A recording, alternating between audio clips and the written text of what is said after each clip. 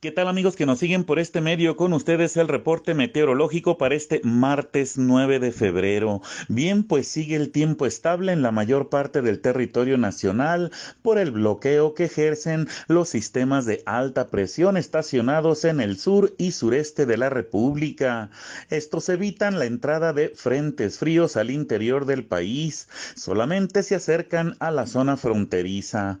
Tal lucha entre sistemas atmosféricos puede finalizar de dos formas que un frente frío fuerte entre o que los sistemas de alta presión se debiliten o se disipen. Según los modelos matemáticos de previsión del tiempo, desde mañana se debilita la alta y el jueves desaparece permitiendo la entrada para el viernes de un frente frío relevante. Así es que no se separe de su abrigo porque lo va a necesitar el próximo fin de semana.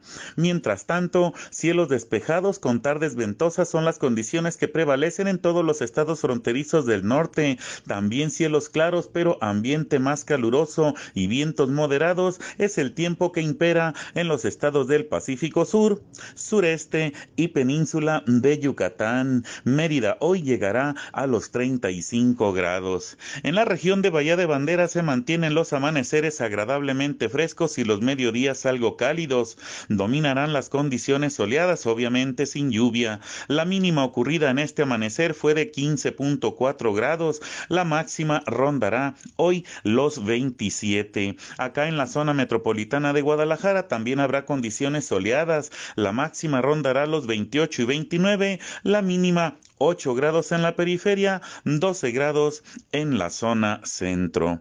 De momento eso es todo, informó Víctor Cornejo. Estamos al pendiente.